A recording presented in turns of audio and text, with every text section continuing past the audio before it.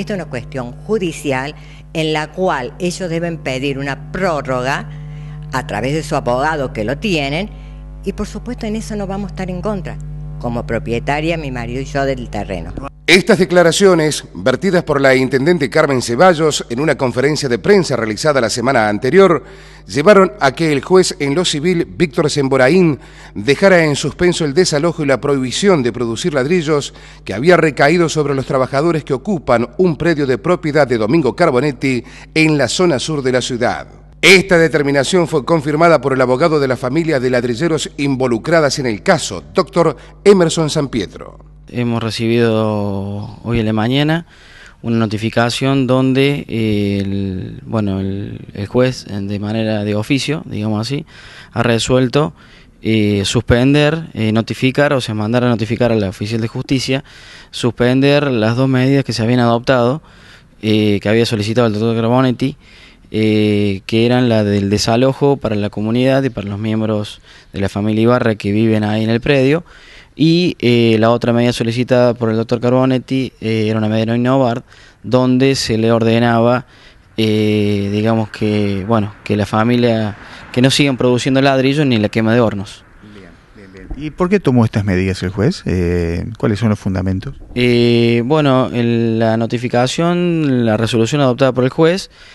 manifiesta que ante las versiones vertidas por la señora intendenta acá de la ciudad de Belleville, donde eh, impartía una instancia de diálogo, un pedido de prórroga para el, el, desalojo de esta, de esta gente, de esta comunidad.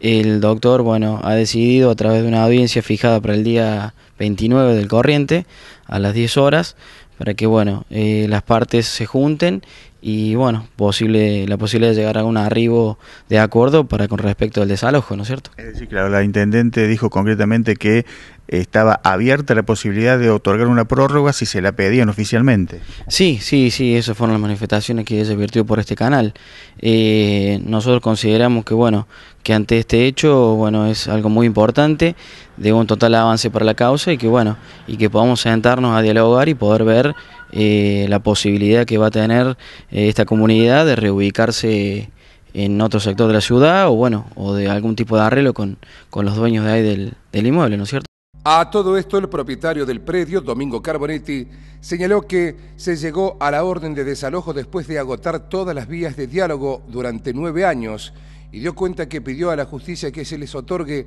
seis meses de prórroga a las familias de ladrilleros para dejar el lugar, porque hay dos ofrecimientos de tierras donde podrían instalarse. Hace más de 15 años que soy propietario, he pagado regularmente los impuestos, está denunciada en la declaración jurada como funcionario, está denunciada en la declaración ante la AFIP que presento anualmente, eh, y, de, y que vengo conversando y poniendo voluntad este, predisposición este, para llegar a un acuerdo con los ocupantes, con los intrusos de este inmueble, hace eh, cinco o seis años por la vía judicial y uno o dos años antes este, por la vía extrajudicial. O sea que prácticamente llevamos siete, ocho, nueve años, ya uno ha perdido la cuenta. Es decir, que en todo momento hemos tenido una predisposición para encontrar una solución. Lo que de alguna manera, incluso con abogados que han representado, o sea, eh, cuando mediaba algún incumplimiento, ese abogado era reemplazado por otro. Este, bueno, porque indudablemente eh, hay abogados que nos gusta de alguna manera defender a nuestros clientes, pero siempre que nuestro cliente cumpla. Cuando llega el momento y no cumple, tampoco tenemos cara para seguir de alguna manera pidiendo. Y esto es lo que ha venido ocurriendo acá. Eh, un juicio que demoró cinco o seis años, con todas las chicanas posibles, con recursos, que fue confirmado por la Cámara de Apelaciones este, que yo hace más de un año que tengo una sentencia este, y un oficio para desalojarlos y que de alguna manera no lo hemos hecho este, por la cuestión social, porque tienen hijos argentinos, porque van a, muchos establecimientos escolares este, de Belleville. O sea, eh, la buena voluntad de parte nuestra no es de este momento. Yo la podría poner sobre la mesa de los últimos 10 años lo que no he encontrado un correlato de buena voluntad del otro lado, porque cada vez que se habló para llegar a un acuerdo, plazos de desocupación, etcétera, etcétera,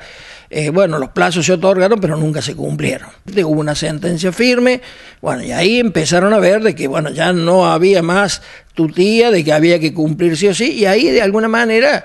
este, a lo mejor este, llevados por gente de los pícaros de la política que creen de que en este tema, por las funciones que uno cumple, por la representatividad este, que tiene, podrían plantear una cuestión social, este, sin decirlo, porque hasta ahora no lo escuché de ninguno, que esto que piden hoy yo hace 8 o 9 años que lo vengo haciendo. Entonces, ¿por qué? Porque igualmente tengo un sentimiento de encontrar este, actitudes, conductas, voluntades que sean compatibles. Quiero de alguna manera recuperar el ejercicio de mis derechos de propietario y a su vez este, causarle el menor o el cero costo social a una comunidad que de alguna manera este, trabaja, lo que indudablemente para esto, como corresponde en todo diálogo, hace falta dos personas. Acá siempre hubo dos y una que no cumplió. Este, yo acabo de recibir una llamada telefónica este, en el cual nos piden un plazo este, porque bueno habría realmente una posibilidad de alojarlos este, o en Morrison o en Belleville este, por supuesto, lo hemos expresado este, documentadamente que ante una actitud generosa de este tipo del doctor San Pietro y de la señora Gira, nos parece que tenemos que responder de la misma manera, siendo doblemente generosos, más allá de lo que hayamos hecho hasta ahora, un paso más creo que lo podemos hacer. Y esto es lo que realmente, bueno, hemos este, presentado un escrito este, manifestando de que estamos este, contestes o de acuerdo en prorrogar por seis meses, a condición de que, bueno, escalonadamente se vaya cumpliendo el ofrecimiento. En cuanto a la denuncia sobre sus múltiples roles como abogado de la familia Ibarra, luego de tasador de la propiedad y finalmente comprador en una subasta, Carbonetti dijo que esos procedimientos se ajustaron plenamente a leyes vigentes. Eh, me gustaría que más que preguntarme a mí, eh, hubieran preguntado al presidente del Colegio de Abogados o a algunos abogados este, de mucho fuste, de mucho prestigio, que están al margen de todo, este, porque por ahí tiene mucho más peso que lo que uno pudiera expresar, porque estoy diciendo, bueno, sí, pero es juez y parte en este tema, ¿no es cierto? Pero esto es lo que habitualmente ocurre en una declaratoria de herederos. No es un juicio contencioso con contraparte, en la cual uno tiene prohibido patrocinar al actor y después al demandado. Esta es una declaración, es como el juicio de divorcio por presentación conjunta, uno puede defender a los ambos cónyuges porque conjuntamente han elegido un abogado. Los herederos pueden elegir un letrado, ¿no es cierto? Y ese letrado en la declaratoria de herederos, ¿no es cierto? Mientras no haya confrontación, y en este caso no la había, puede ser perito sin ningún tipo de problema, no hay incompatibilidad y está dentro de lo que permite la ley. Si no, el mismo juez no hubiera aprobado las operaciones con las que reguló honorario. Nadie puede suponer sensatamente que uno está violando la ley abiertamente y un juez, no este que está hoy, sino el juez que en su momento estuvo, aprobó las operaciones si uno hubiera violado la ley. Entonces, este, nosotros actuamos este, como abogados de los herederos, este, en su momento hicimos el peritaje, no fue el único juicio. A la familia Ibarra le hemos atendido en nuestro estudio, no sé, pero voy a poner un número, más de 10 juicios, de distinta índole y de distinto tipo. O sea, prácticamente el cliente en nuestro estudio nunca pagaron hasta que realmente, bueno, por circunstancias propias de llegar a un acuerdo de cómo pagaban, este, bueno, este, se resolvió de que eso se rematara y con ese producido uno pagara los honorarios. Pero en aquel momento no era como hoy que a lo mejor una hectárea de campo hoy este, tiene 50 interesados. En aquel momento, y yo apelo al recuerdo de todos, este, realmente no le vendía un gramo de campo a nadie porque realmente no estaban ni las técnicas este, agropecuarias que están hoy, ni la frontera agrícola se había extendido. Este, realmente incluso tenía una deuda impositiva realmente importante, por eso también no hubo muchos interesados en el remate, o sea, eh, estamos hablando de 15 años para atrás.